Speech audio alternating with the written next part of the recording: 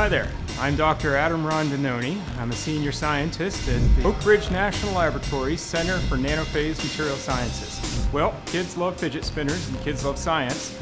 So we're going to do a little science demonstration today and we're going to make the world's smallest fidget spinner. The Center for Nanophase Material Sciences is a Department of Energy user facility, which means our job is to offer cutting edge experiments, instrumentation, and scientists to help other scientists do the science they need to do. That includes companies and universities. The instrument we're going to use today is called a nanoscribe.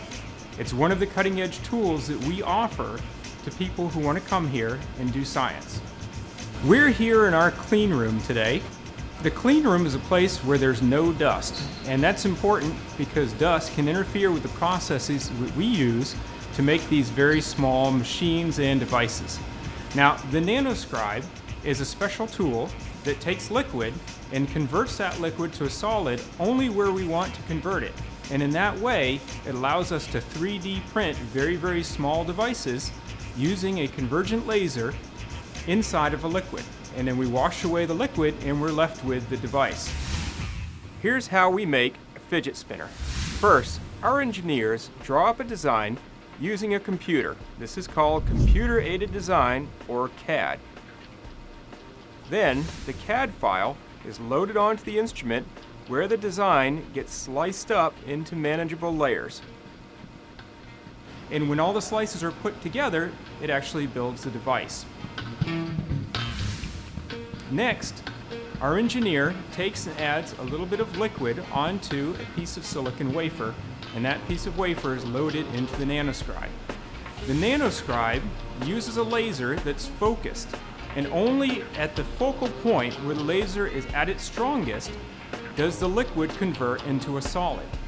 Now, the instrument takes that laser and it rasters it through the liquid, much like a 3D printer rasters a squirt nozzle extruding polymer.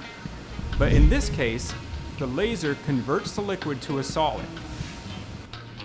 Once the process is complete, then the fidget spinner, still on the wafer, is removed, developed, and rinsed. Here are some scanning electron micrographs of the finished spinner.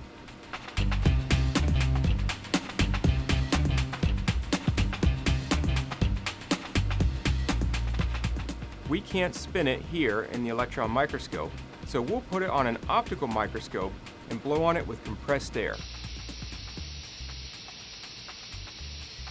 This fidget spinner, from side to side, it's the width of a human hair.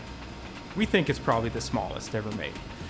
So while the fidget spinner is fun, most of the time we're using these instruments to do real science, where we're making very small machines, microfluidic channels, sensors, photosensors and such, for actual scientific purposes.